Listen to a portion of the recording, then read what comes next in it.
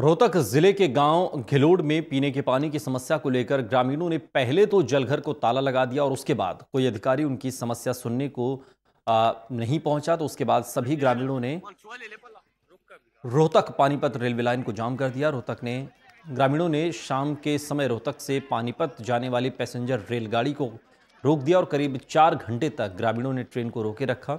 उसके बाद खुद एसडीएम और वहाँ ग्रामीणों को आश्वासन देने पहुँचे कि कल तक पीने के पानी की समस्या को दूर कर दिया जाएगा।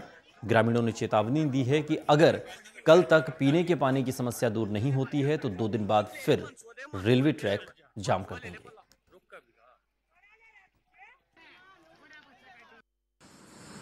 रेल रोकने के बाद में अब हमारे को एसडीएम की तरफ़ से आश्वासन मिला है। पूरा पानी दे दिया जाएगा। हम पानी के मारे परेशान हैं। हमें कोई शौक नहीं है। किसी को दुख पहुँचाने का, ठेस पहुँचाने का।